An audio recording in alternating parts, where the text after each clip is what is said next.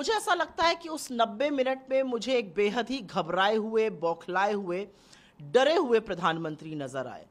ऐसे प्रधानमंत्री नज़र आए जिनको 10 साल बाद, जब दसवीं बार ध्वजरोहण किया तो उनको अपना रिपोर्ट कार्ड बताना था। लेकिन उस पर स्कोर नील बटा सन्नाटा है तो बेचारे क्या करते? अगर आप आँख बंद करके सुनते तो आप शायद कंफ्यूज हो जाते कि वो लाल किले की प्राचीर से देश के प्रधानमंत्री राष्ट्र को संबोधित कर रहे थे या नुक्कड़ पर कोई चुनावी रैली में बीजेपी के नेता बोल रहे थे?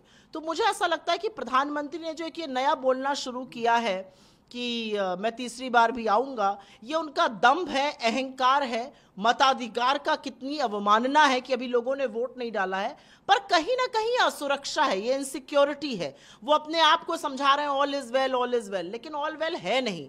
इस देश ने मन बना लिया है और आपकी रुखसती जो है वो तय है। राजीव चंद्रशेखर कह रहे हैं कि प्रधानमंत्री मोदी ने पिछले नौ वर्ष में या उसकी बात कही। साथ ही खड़गे जी डायनेस्टी पार्टी के अध्यक्ष हैं इसलिए उन्हें कहा जाता है वो वही करते हैं उनके पास कोई ऑप्शन राजीव चंद्रशेखर जिस दिन एक न्याय का चुनाव जीत लेंगे न्यायिक मतलब मैं ज़्यादा बड़ी बात नहीं कर रही हूँ पार्षद बन जाएँगे उस दिन इतनी बड़ी बड़ी बातें करा करें मुझे ऐसा लगता है कि खरगे जी का बावन पचपन साल का निर्वाचित सदस्य होने का एक रिकॉर्ड है। खरगे जी, कांग्रेस में दस हज़ार से ज़्यादा लोगों से चुने हुए अध्यक्ष हैं। और मुझे ऐसा लगता है कि प्रधानमंत्री की पूरी स्पीच में मुझे बहुत विरोधाभास नज़र आया। अपनी पूरी पार्टी को वंशजों और परिवारवाद से भरकर कन्याकुमारी से कश्मीर तक आप दूसरे पर उंगली उठा रहे हैं। सीएजी के साथ साथ घोटाले सामने आए हैं, उस पर आपने एक शब्द नहीं बोला है। आप अडानी घोटाले से लेकर चिटफंड घोटाले वालों को सबको अपने साथ बिठाए हुए हैं तो बहुत विरोधाभास था। प्रधानमंत्री ने, मैंने तो तीस सेकेंड नहीं सुना जहाँ पर उन्होंने अपनी किसी बड़ी उपलब्धि की बात करी हो। यह अलग बात है कि अंततोगत्वा शरण में गांधी की ही जाना पड़ा। जिसको उनकी पार्टी के सारे लोग अपशब्द कहते हैं वैधता उन्हीं से मिलती है। तो जब मैं प्रधानमंत्री जी को महात्मा गांधी के आगे शीश नवाते झुकते देखती हूँ तो मुझे गांधी की सत्यता पर थोड़ा और भरोसा हो जाता है।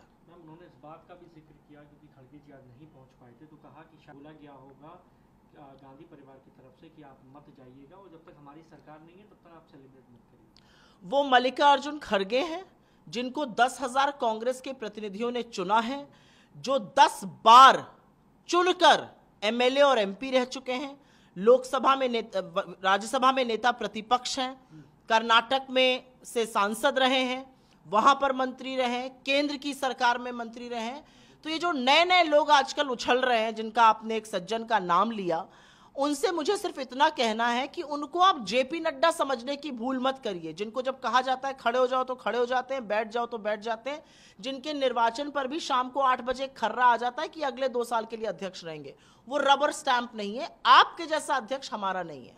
मैम उद्धव ठाकरे, हो सकता है कि राहुल गांधी से बात शरद पवार, अजीत पवार के साथ मुलाकात कर रहे हैं। तो कहीं ना कहीं महाविकास अघाड़ी को किस तरीके से आगे ले जाना है? 2024 के चुनाव पर भी ये भी बिना पवार के लड़ना है, नहीं लड़ना इस पर भी बातचीत हो रही आप कैसे देख रहे हैं? नहीं, मुझे नहीं लगता कि इसमें कोई बिना उनके लड़ने की बात है। उन्होंने अपना पूरा कमिटमेंट इंडिया गठबंधन को दिया है। उन्होंने अपना पूरा कमिटमेंट मोदी जी के खिलाफ, उनकी घिनौनी, गंदी, नफरत की राजनीति के खिलाफ दिया है।